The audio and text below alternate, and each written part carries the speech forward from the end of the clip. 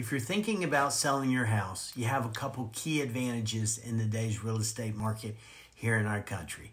First of all, there are more homes for sale now than there were at this time last year. That means you have more options to choose from if you move, so you're more likely to find exactly what you're searching for in the day's real estate market.